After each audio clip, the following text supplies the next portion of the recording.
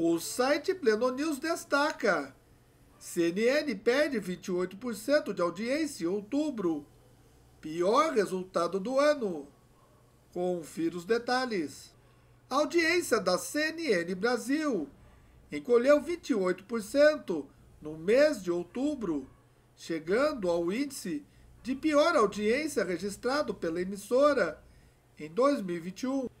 Segundo dados do painel nacional de televisão, a média do canal ficou em 0,05 ponto, enquanto no mês de setembro foi de 0,07. Em números de telespectadores ativos por minuto, outubro teve 36 mil pessoas, enquanto setembro a média foi de 50,4 mil pessoas.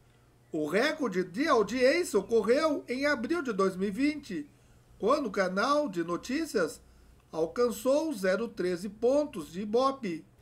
Depois que a CNN começou a lacrar, a casa dela caiu. O brasileiro não acredita mais no canal. É o que muitos têm dito por aí. Na internet, muitas pessoas não veem a CNN mais como uma opção diferente da Globo. E agora com a Jovem Pan, o canal vai ficar ainda mais pressionado, porque a Jovem Pan está batendo recordes. Porque o canal Jovem Pan tem feito um trabalho isento e a favor de uma melhora da situação da nação brasileira. E você, o que pensa sobre isso?